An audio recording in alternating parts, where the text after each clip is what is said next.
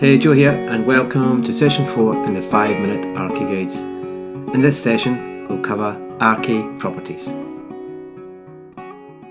Properties in Archi are a powerful feature to enrich the content of your models. Properties can be applied to any object in your model and will have different options available depending on the object type. A common task for enterprise architecture is to understand current application landscape. Typically, this will involve understanding the business criticality, end of serviceable life, and an estimated number of users. To create a field, select an element and then click the Add button from the Properties window. We will name this field Business Critical and we'll give it a value of low. If we add another field, we should now see from the drop-down list that we have the previous field available to us. We won't use this one, we'll add a new one. We'll name this End of Service Life and I'll give it a date value. Adding another field again, I will check the drop-down list and we can see the previous two fields are available. Again, we'll add another as user base low and a value of 5.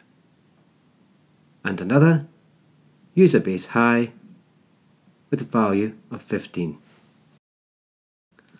Unfortunately, you can't add fields to a selected group of objects, as you can for other formats such as text alignment. So we will need to add them one by one. We can, however, add multiple fields at a time. Select the Multiple Fields button in our properties window. We can select all and you can see all of the fields are added to that object. We'll do another, multiple fields, select all, added.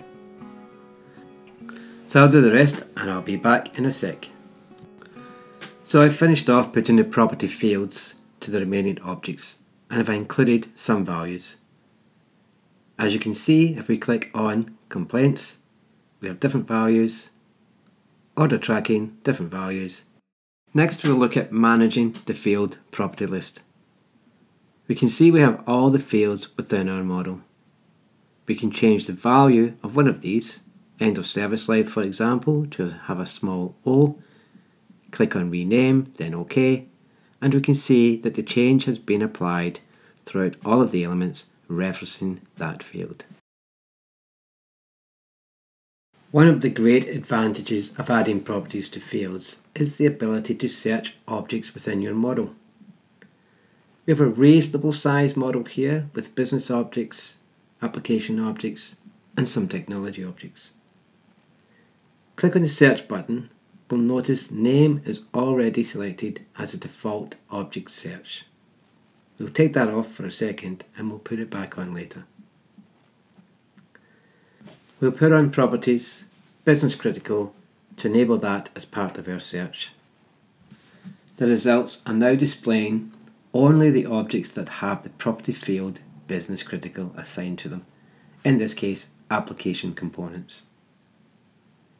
If we now search high, the results will filter only those objects that have the value high within the business critical property field. Search MED, the results will change. Search low, and the results will change once again. Let's go back and include object name in our search. We'll check what we have now. Name, ticked. Properties, business critical, ticked. Let's now do a search on MED for medium and you'll see it has returned business objects such as social media, etc., as they have the value MED in the name, and the application components that have the value in their property field business critical field value. So we had name, properties, business critical. Well, that concludes our five minute session. In this session, we learned that property values are available and vary on the object type, and that property fields can be accessible at the model level and are searchable.